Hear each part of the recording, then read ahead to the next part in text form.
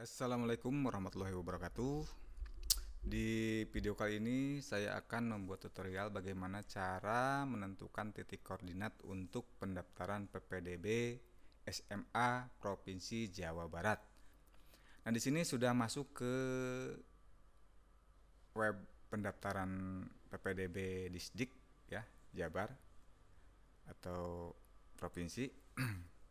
nah, perlu dipastikan kalian harus mempunyai akun yang sudah diberikan oleh sekolah masing-masing. Nah, di sini saya akan contohkan ya teman-teman semua, akan contohkan untuk mengisi koordinat atau tempat tinggal kalian, oke? Yang pertama kalian harus memasukkan yaitu username. Masukkan username-nya. Ya, di sini saya tinggal ngopi aja. Setelah itu masukkan passwordnya. Ini paspor rahasia ya. Jangan sampai pada tahu. Oke setelah itu kita klik login. Nah akan muncul seperti ini. Nah di sini tertara pasti ada nama kalian. Nah di sini saya di SMP Negeri 20 Bekasi. Lalu pastikan kalian sudah mempunyai nick ya. Tentunya sudah mempunyai ya lalu kita masukkan nicknya sesuai dengan alamat atau tempat tinggal ya kan? Lalu masukkan nick contoh seperti ini. Saya udah saya udah saya copy. Pastekan. Nah di sini otomatis akan muncul sesuai dengan nick ya. Di sini dengan nama Abijar Jawa Barat Kota Bekasi Kecamatan Pondok Gede dan Kelurahan Jatiwaringin ya di sini ya nah di sini RT-nya berapa sesuaikan saja dengan yang ada di kakak kalian. Contoh di sini RT 4 RW 7. Nah, setelah itu bagaimana cara mengisi koordinat ini? Ya kan? Dan pastikan juga ya teman-teman di sini NIS kalian sudah betul dan nama kalian sudah betul juga bisa diedit di sini dan jenis kelamin pun juga sudah bisa diedit dan tempat tanggal lahir juga bisa diedit.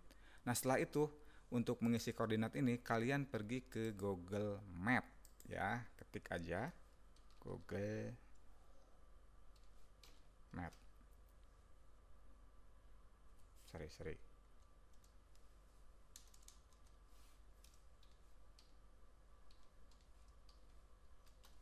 Nah ini Google Map.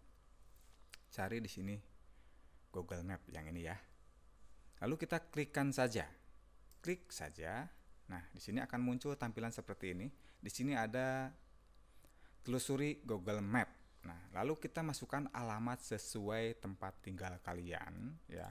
Contoh saya di sini akan ngopi, di sini ada jalan sorry sorry ya. Saya copy dulu. Di sini saya akan pastikan. Di sini adalah jalan dra apa sih?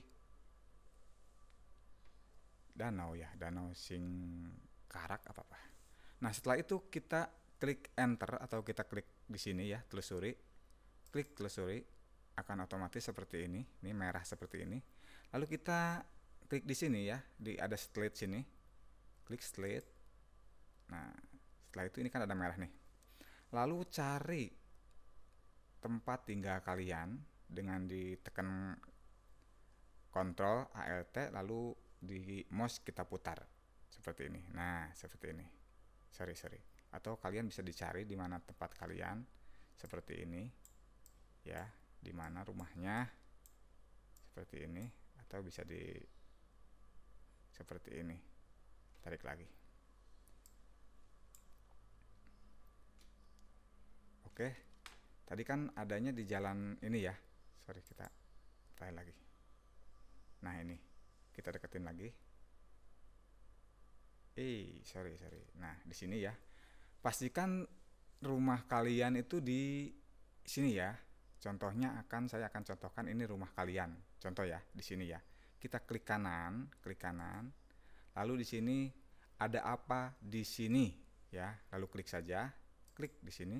Nah, lalu akan muncul seperti ini.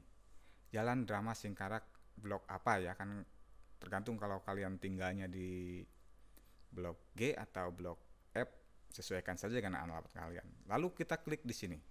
Klik di sini ya. Klik di sini, klik.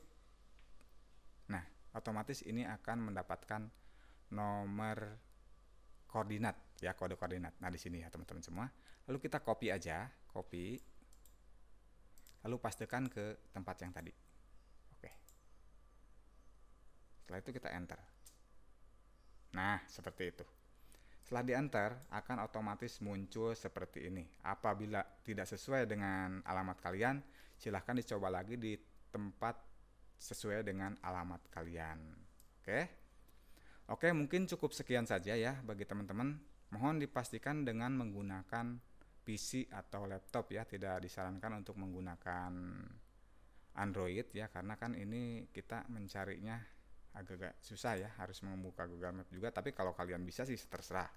Oke?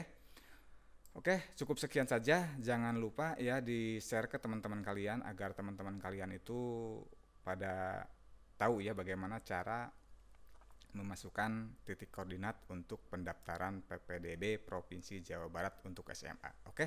Assalamualaikum warahmatullahi wabarakatuh